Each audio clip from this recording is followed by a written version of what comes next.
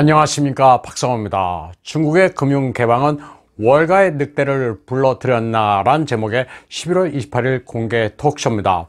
여기서 중국인민대 국제관계학원 부원장이며 같은 대학의 중국 대외 전략 연구 중심의 부주임인 자이동성의 발언은 중요한 시사점을 던져주고 있습니다. 그는 중국이 오래전부터 월가의 친중파를 심어 미 정가를 쥐락펴락했다고 털어놓았습니다. 그러면서 중국은 미국과 무역 전쟁을 치르면서 트럼프 행정부를 굴복시키지 못했는데 과연 그 원인이 무엇인지를 이야기합니다. 1992년부터 2016년까지는 양국 간의 문제가 생기면 바로 해결이 가능했는데 지금은 그렇지 않다고 말했습니다. 예전에는 겉으로는 다투지만 마쿠에서는 화해하는 식으로 넘어갔는데 이제는 사정이 달라졌다는 겁니다.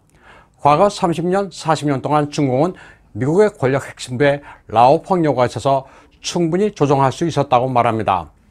그리고 그 비결은 미국 내정과 외교에 대한 영향력이 상당했던 월가에 편승한 덕분이라고 말했습니다. 그런데 월가는 2008년부터 그 지위가 하락하기 시작했고 결정적으로 2016년부터는 트럼프를 마음대로 움직일 수 없었다고 합니다. 트럼프는 과거에 월가에 대해 그리 호의적이지 않았는데 이로 인해 미중 무역 전쟁 과정에서 친중파 미국 인사들이 중국을 돕고자 했지만 여의치 않았다고 합니다. 자이동성 교수는 이제는 바이든이 대통령이 돼 월가와 밀접한 전통적 정치 엘리트와 기득권 세력들이 활기를 펼 수 있게 됐다고 말합니다. 12월 2일 로이터는 중신구어지와 중국 해양석유 등 중공의 기업 89개가 미국의 제재 명단에 올랐다고 보도했습니다.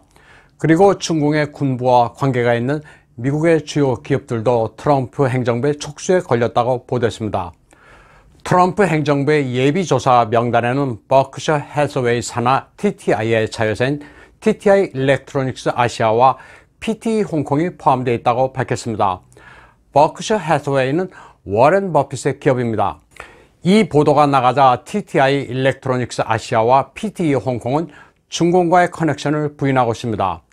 그러면서 정식 명단에서 빠질 수 있도록 해명 노력을 기울이겠다고 밝혔습니다. 중국의 망명부 고원구이는 미국이 제재 대상에 올린 중국 해양석유는 정보 공작 플랫폼이라고 밝혔습니다. 중국 해양석유 소속의 1만 톤급의 화물선들은 바하마, 중동, 아프리카, 지부티, 페르시아만, 이란 남부 군사기지, 사우디 등 여러 항구에 기항하고 있다면서 현지 외교 공간의 지시를 받아 첩보 공작을 하고 있다는 겁니다. 이 화물선들은 해제 탐지 장치를 설치해 미국의 유도탄, 잠수함 등을 추적하는 군사 용도로 활용되고 있다고 폭로했습니다. 중국 해양 석유의 스파이 행위는 오래된 것인데 미국이 이제야 조치를 취했다고 말했습니다. 한편 베리타스 프로젝트의 제임스 오키프는 CNN의 치부를 계속 폭로했습니다. 이번에는 헌터 바이든의 하드 드라이브 스캔들이 불거져 나왔을 때 고의로 기사를 깔아뭉갰다는 정황이 녹취 파일에서 그대로 드러났습니다. 대선을 앞두고 있던 시기에 바이든의 불리한 기사를 일부러 누락한 겁니다. CNN 사장 제프 저커는 브라이트바트, 뉴욕 포스트, 팍스 뉴스가 헌터 바이든의 곤란한 처지를 어젯밤 보도했는데 외부인들은 잘 생각하지 않는 사안이다. 월스트리트 저널은 관련 회사 기록을 보도하면서 중국 connection에 조 바이든은 관련이 없다고 보도했다. 나는 뉴욕 포스트보다 월스트리트의 논조가 맞다고 본다고 말했습니다. 이에 대해 정치 담당 국장 겸 부사장인 데비 찰리아는 헌터 바이든과 관련해 뉴욕 포스트의 논조를 따라가지 않겠다고 말합니다. 뉴욕 포스트 기사는 팍스 뉴스에게 쓸거리를 제공하고 있고 오늘 우파들의 안주감이 되고 있다고 평가했습니다. 그러면서 헌터 바이든의 변호인이 뉴욕 포스트에 인용됐으니 차라리 그걸 따라가겠다고 했습니다. 왜냐하면 대통령이 탄핵될 만한 사안이며 상원위원회가 조사했지만 우크라이나 connection에서 조 바이든이 잘못한 게 없는 것으로 밝혀진 사안이란 겁니다. 그리고 이메일에서 누군가 부리스마와 접촉했다고 하는데 이는 줄리아니가 이 시점에 뭔가 한 건 하려는 것 같다고 이야기합니다. 그러자 CNN의 상무부사장 데이브 비질란티는 그 기사에서 조심할 필요가 있다고 대답합니다. 조 바이든의 백악관 대변인으로 내정된 CNN 출신의 젠 사키도 여론의 도마에 올랐습니다. 젠 사키는 오바마 시절 백악관과 국무부 대변인을 하기도 했습니다. 2014년 존 케리 국무장관 그리고 러시아 외무장관 라브로프 러시아 측 대변인 마리아 자카로브와 함께 촬영한 사진에서 낫과 망치 문양이 있는 공산당 모자를 쓰고 있습니다.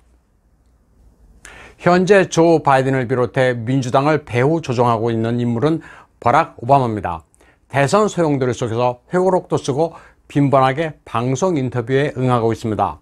그는 조 바이든과 카말라 해리스가 민주당의 대통령, 부통령 후보로 선출되자 짜릿했다고 말했습니다. 8년 동안 같이 했던 조 바이든은 형제 친구와도 같고 카말라 해리스는 자신이 대권에 도전했을 때부터 지지자였다고 말했습니다. 그래서 그들에게 많은 것을 투자했다고 털어놨습니다. 오바마는 또 다른 인터뷰에서 대통령을 직접 다시 할 생각은 안 해봤냐는 질문에 무시무시한 생각을 털어놨습니다. 마쿠에서 조정하는 게 좋다면서 이어피스를 귀에 꼽고 내 지령을 따를 자가 있으면 자신은 지하실에 앉아 지시를 하면 된다는 거였습니다. 오바마는 자신이 체포됐다는 소식을 불식시키기 위해서인 듯 12월 1일 동향을 트윗에 업데이트했습니다. 오바마 재단을 출범시킨다는 내용입니다. 진정한 변화를 추구하는 4세대를 규합하기 위해서라고 말했습니다. 미 대선 사기극이 사실상 국가 변란이라는 공감대가 확산되고 있는 가운데 트럼프 대통령의 충신 마이클 플린 전 백악관 안보 고문도 트윗을 통해 의미심장한 메시지를 전했습니다. 그는 하나님을 제외하고는 자유는 굴복하지 않는다면서 트럼프 대통령에게 계엄령을 발동하라고 촉구했습니다. 린 우드 변호사, 토마스 맥이너니 장군과 같은 호소였습니다. 플린 장군은 잠시 미국 헌법을 중단하고 계엄을 선포한 뒤 2020년 대선을 군의 감독하에서 다시 실시해야 한다고 말했습니다. 그러면 계엄령을 촉구하고 있는 We the People Convention의 워싱턴 타임즈 전면 광고 내용을 소개해 드리겠습니다.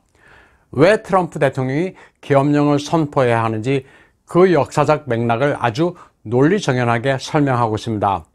이 광고의 제목은 우리의 투표권을 방어하기 위해 특별 권한 행사가 요구된다. 내전보다는 계엄령이 낫다고 되어 있습니다. 이 광고는 에이브러햄 링컨 대통령의 역사를 상기시키고 있습니다. 당시 링컨 대통령은 연방을 구하기 위해 계엄령을 선포하고 habeas corpus 인신보호영장의 기능을 중단시킨 데 대해 많은 이들이 반대했습니다. 1863년 6월 링컨은 그의 논리를 설명하기 위해 뉴욕타임즈에 광고를 냈었습니다. 그는 헌법 제1조를 인용해 지금은 대규모의 반란, 침략에 준하는 상황으로 공공의 안전이 위협받고 있어 인신보호영장의 특권이 취소될 수 있다고 설명했습니다. 에이브람 링컨은 이어 1년의 비상 대통령 명령을 시행했습니다. 자신을 비판한 수백 개의 북부 신문들을 폐간하고 오너와 편집자들을 체포했습니다. 또 반대 목소리를 낸 오하이오주의 클레멘 멜란디금 의원을 체포할 것을 지시했습니다. 인신보호 영장의 기능을 중지해 헌법을 위반했다고 주장한 로저 테니 대법관을 체포할 것도 명령했습니다. 그런가 하면 남부의 동정적인 메릴랜드 헨리 메이 의원 등 수천 명을 체포해 재판 없이 군 형무소에 몇 년간 수감했습니다. 에이브라햄 링컨의 이런 조치들이 과격한 거 아니냐는 논란이 있기는 하지만 그가 공화국을 구하기 위한 대의에서 비롯됐다는 점에 이의를 제기하는 이들은 없습니다. 링컨 당대는 이를 인정하지 않는 이도 있었지만 역사는 그를 긍정적으로 평가한다는 게 위더 피플의 주장입니다. 오바마조차도 링컨을 가장 위대한 대통령으로 평가합니다.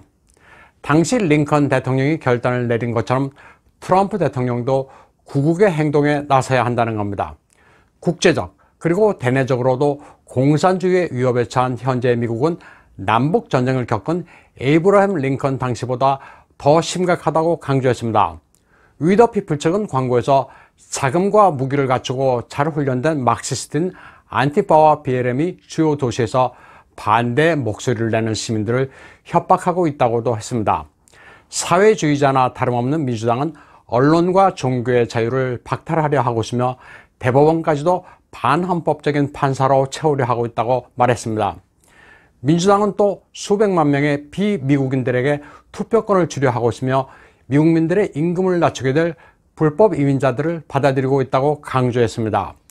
주류 매체들은 대다수의 국민들을 속이기 위해 이런 부조리를 은폐하고 있는데 아무도 링컨 당대처럼 주류 매체들을 응징하는 이가 없다고 말했습니다. 게다가 예전에 없었던 매체 형태로 빅텍이 등장해 국민들의 언론을 통제하면서 좌파 선전의 선봉에 나서고 있는 현실이라고 개탄했습니다. 그들은 미국의 종말을 획책하고 있다고도 했습니다. 그리고 오바마가 집권했던 시기부터 사회주의 좌파는 미국을 변혁시키겠다고 공개적으로 작업하면서 미국을 파괴하고 있다고도 했습니다.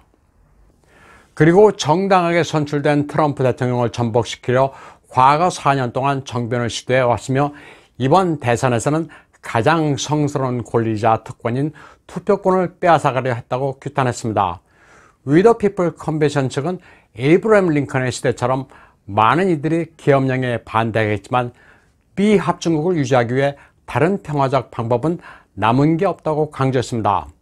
그리고 헌정의 권리를 지키기 위한 대통령의 고육책을 이해할 것이라고 말했습니다. 그러면서 우리를 지키기 위해 대통령이 주어진 권한을 행사하지 않는다면 국민 스스로가 나설 것이라고 천명했습니다. 한편 트럼프 대통령이 인생에서 가장 중요한 연설을 한 12월 1일 유성이 대낮에 장렬하는 기현상이 벌어졌습니다. 어퍼 뉴욕과 메릴랜드 등 미 동부부터 캐나다 온타리오주에 걸쳐 굉음과 함께 몇 초 동안 강력한 섬광이 번뜩였습니다. 나사는 시속 9만 킬로미터로 날아온 유성이 대권에 진입하면서 굉음이 발생했고 뉴욕주 상공 35km에서 폭발했다고 전했습니다. 놀란 주민들의 신고도 잇따랐습니다. 오늘 방송은 여기까지 하겠습니다.